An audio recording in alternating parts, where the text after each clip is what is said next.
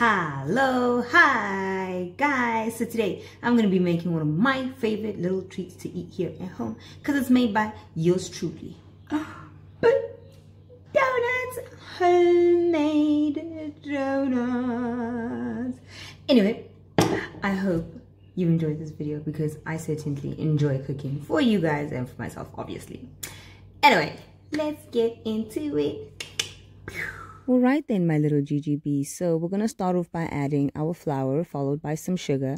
You're more than welcome to use white sugar. That's also okay. Followed by some baking powder because I don't have yeast. If you have yeast, great. But because I use baking powder, I need to also add the lemon juice so that it has that zest.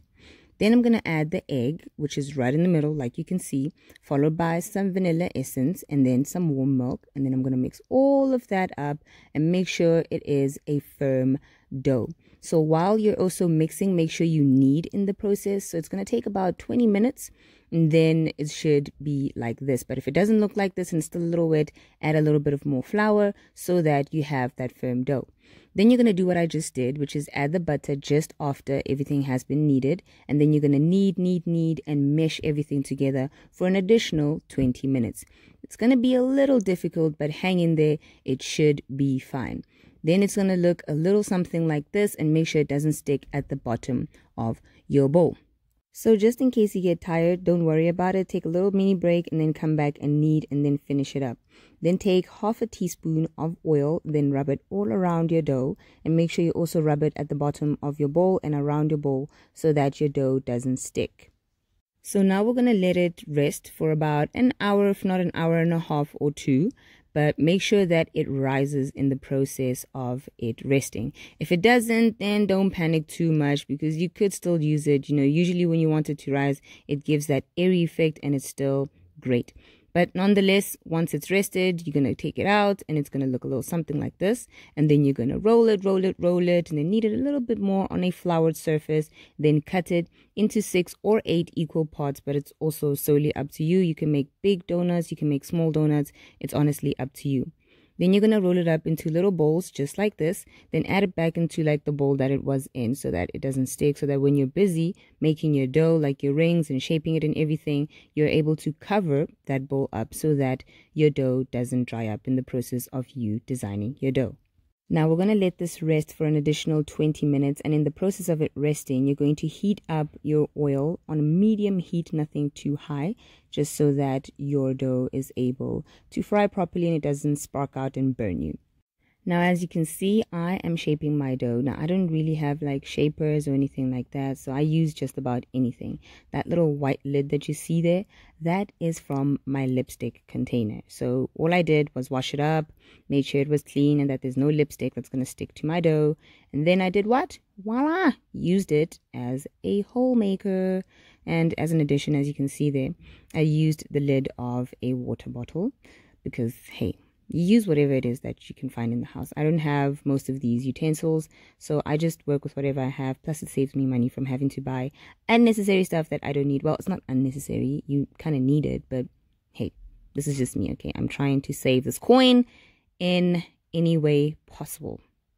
Anyway, this leftover little dough here, I'm just going to pop it in as it is. You can make any kind of donuts really, as long as the dough is there. You can even make like jelly filled donuts, solely up to you. Now I'm going to add my condensed milk followed by my little colorings in each bowl so that everyone has its different color and that nothing gets mixed together. It should look a little something like that. Hello! Looks so great. Now, once your oil is heated up and it's not too hot, you're going to throw in your donuts and they should look a little something like this. Make sure you fry each side of a donut for about four minutes, if not slightly a little bit more, but it shouldn't burn. So just make sure you maintain and that you watch out for it. And if need be, you can use a spatula or you can do what I do and just use like your home chopsticks because they work really well because you know the hole in the middle, yada yada yada. But yeah, Anyway, you're going to repeat this process with all your donuts. Make sure they fry properly and that they fry all the way through. I cannot stress how important it is that they fry all the way through because I have made a couple of mistakes in the past where I removed my donuts too quickly because I was impatient and then you find that they don't cook all the way through. So please don't make that mistake. Make sure they fry all the way through four minutes, if not a little bit more, on that medium heat, and then get everything the way it's supposed to be done and get those results.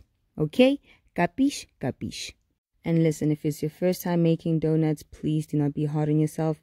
It does take a little bit of time because you definitely need that dough to be just right. It doesn't work the same as a normal cake dough. No, it honestly needs to be just right so that when you deep fry it, it also comes out fluffy and just slightly a little bit crispy on the top, but not too hard. And also, again, so that it is cooked all the way through. Much like whatever your favorite spot is for your favorite donuts.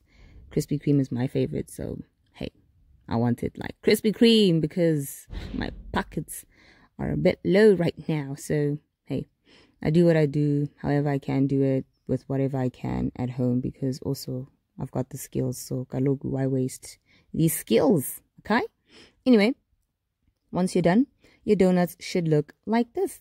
Now I'm going to add my caster sugar, I don't know how you want to pronounce it, caster sugar, along with my cinnamon.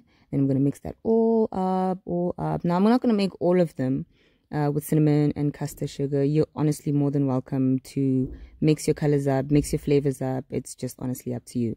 So I'm just going to do this, add in my donuts, just the top. You can also do like a whole donut with like a food coloring. Uh, or whatever, you know, cream or chocolate. It's up to you, but this is what I prefer to use because it tastes just that great. And obviously, condensed milk is sweet. I don't know if you've seen some of my other videos, but you'd know that condensed milk is like one of those things that I use for just about anything that is sweet, if not everything. Oh, and I also forgot to mention that while you drench your donuts in your coloring and your little creamer, whatever it is that you choose to use, make sure that you have these kind of utensils. I'm not so sure what they're called, but my mom uses them for like hot pots so that you know you have space on the um, stove and so forth, so forth. I really need to learn these things. But anyway, I use it for that very same reason, along with my donuts, so that a strainer, I think that's what it's called, a strainer? No, okay, there's, I guess there's different type of strainers. But anyway, I use it to strain out and strain out, that's weird, to drain out the excess of these little flavors and juices so that it doesn't stick at the bottom of my tray so that everything is clean. See, nice and soft and deep fried all the way through. Now remember to make sure that you keep it in the fryer long enough so that it cooks all the way through and that it doesn't come out medium cooked and it's got a bit of dough inside. Then it's just awkward and unpleasant for anyone to eat. Now when you're done, this is what the end results should look like. Hopefully you enjoy this as much as you are going to enjoy it when you eat it because hey, a happy dish means a happy stomach. Ciao! you